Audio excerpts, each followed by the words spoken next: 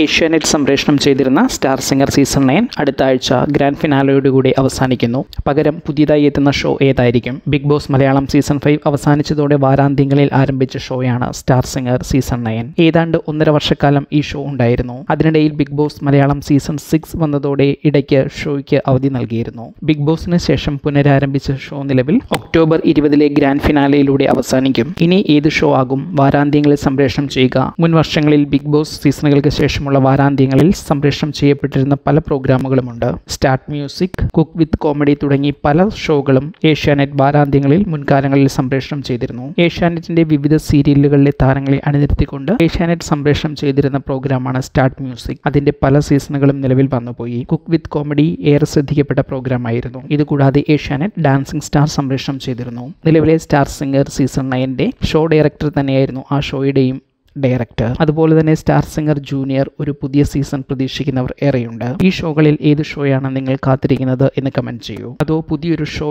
വരണമെന്ന് നിങ്ങൾ ആഗ്രഹിക്കുന്നുണ്ടോ എങ്കിൽ ഏത് തരം ഷോയാണ് നിങ്ങൾ ആഗ്രഹിക്കുന്നതെന്നും കമന്റ് ചെയ്യൂ